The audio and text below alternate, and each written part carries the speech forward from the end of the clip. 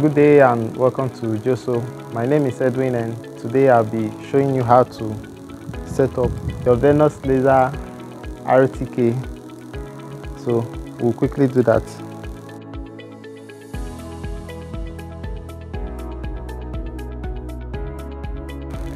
Okay, so the first thing we'll do is we'll turn off our device. So it's on now. Then we'll connect to our receiver. So let's go to Bluetooth.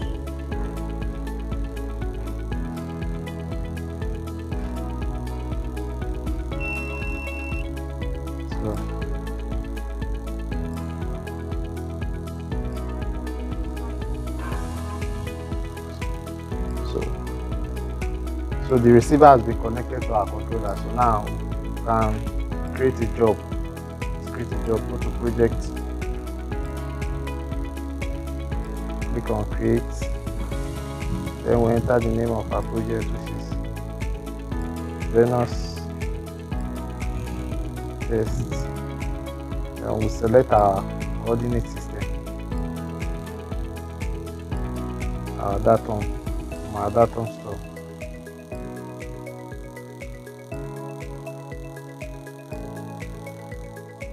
So we finished creating the job. So what we'll do now is to set up the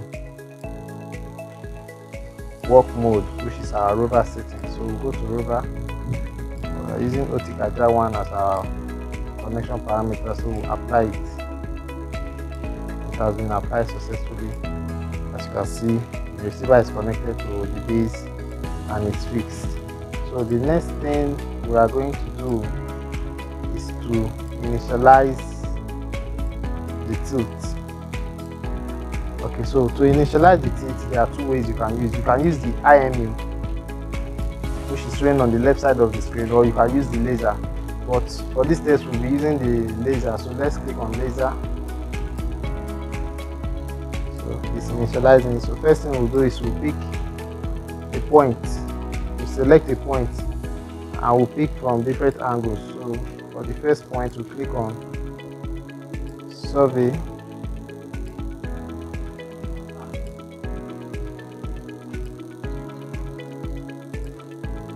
go to change direction to the same point. And then we'll click on survey.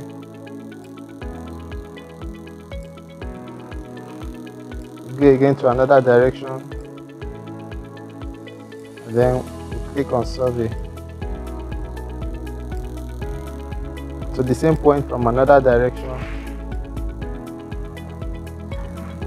We'll click on survey then now we'll check shake the receiver back and forth.